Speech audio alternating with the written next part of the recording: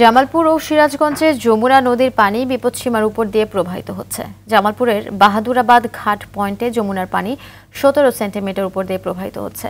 এছাড়া ব্রহ্মপুত্র নদের পানিও বাড়তে থাকায়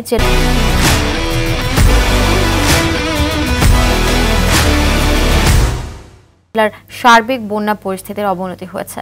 সকালে সিরাজগঞ্জে শহর রক্ষা বাঁধ পয়েন্টে যমুনার পানি বিপদসীমা তিন সেন্টিমিটার উপর দিয়ে প্রবাহিত হচ্ছে। এতে প্লাবিত হচ্ছে নতুন নতুন এলাকা।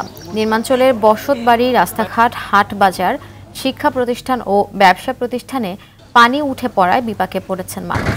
তলিয়ে গেছে পাট তিল ধান আখ ও শাকসবজির বাগান। কুড়িগ্রামে বন্যা পরিস্থিতির অপরিবর্তিত রয়েছে।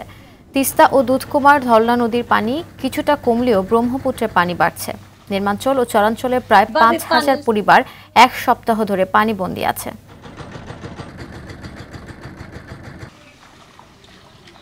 বাড়ি পানি উঠছে মনে রাস্তার মধ্যে পানি ঘর বাড়ির মধ্যে পানি ঠাই পাওয়া নাকছি না। বন্যায় তল হয়ে গেছে বাজার ঘাট করে হয় না। আমরা বাড়ির খাওয়া দাওয়ার খুব কষ্ট।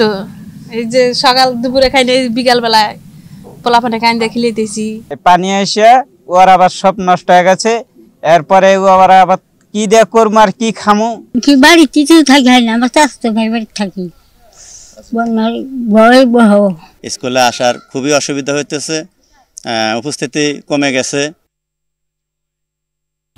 দর্শক নদ নদীর পানি বৃদ্ধি ও নির্মাঞ্চল প্লাবিত হওয়ার বিষয়ে জানাতে সিরাজগঞ্জ থেকে সরাসরি যুক্ত হচ্ছেন সহকর্মী সাজুল ইসলাম সঞ্চয়। সঞ্চয় নদীর পানি বাড়তে থাকার বিষয়ে সর্বশেষ কি তথ্য রয়েছে আপনার কাছে? আহ, আফসানা সিরাজগঞ্জে কিন্তু যমুনা নদীর পানি বৃদ্ধি আজকেও অব্যাহত রয়েছে। এই মুহূর্তে কিন্তু সিরাজগঞ্জ শহর রক্ষা বাঁধ পয়েন্টে যমুনা নদীর পানি বিপদসীমার তিন সেন্টিমিটার উপর দিয়ে প্রবাহিত হচ্ছে। একই সাথে সিরাজগঞ্জের যে কাজীপুর মেঘাই ঘাট পয়েন্ট রয়েছে, সেখানেও কিন্তু বিপদসীমার কাছাকাছি অবস্থান করছে যমুনা নদীর পানি। তো পানি বৃদ্ধির ফলে কিন্তু সিরাজগঞ্জের সার্বিক বন্যা পরিস্থিতির অবনতি হচ্ছে আর প্রতিদিনই প্লাবিত হচ্ছে নতুন নতুন এলাকা।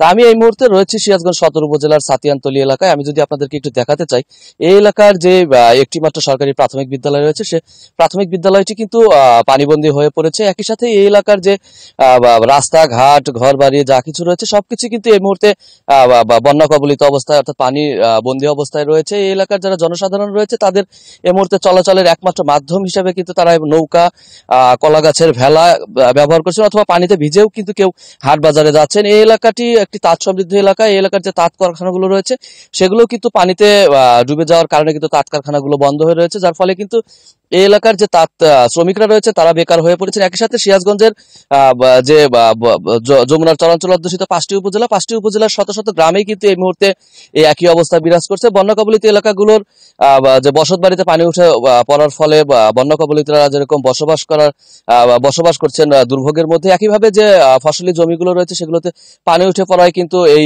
বন্যা কবলিত এলাকাগুলোর জনসাধারণ অনেকটা বেকার সময় কাটাচ্ছেন, যার ফলে কিন্তু খেয়ে না খেয়ে অনেকটা দুর্ভোগের মধ্যেই তাদের দিন কাটছে। আরেকটি বিষয়, এই মুহূর্তে কিন্তু সিরাজগঞ্জে বিস্তীর্ণ ফসলি জমি চলাঞ্চল এবং নিম্নাঞ্চলের পানির নিচে তলিয়ে রয়েছে, যার ফলে কিন্তু এ সমস্ত ফসলি জমির যে কাঁচা পাট, শাক, সবজি, আখ সহ যে ফসলগুলো রয়েছে, সেগুলো নষ্টের, নষ্ট হয়ে যাওয়ার আশঙ্কা করছেন কৃষকেরা। তো এই ছিল সিরাজগঞ্জ থেকে বন্যার সর্বশেষ খবর। আফসানা। জি, ধন্যবাদ আপনাকে। দর্শক সাজিউর ইসলাম সঞ্চয় জানাচ্ছিলেন সিরাজগঞ্জ থেকে।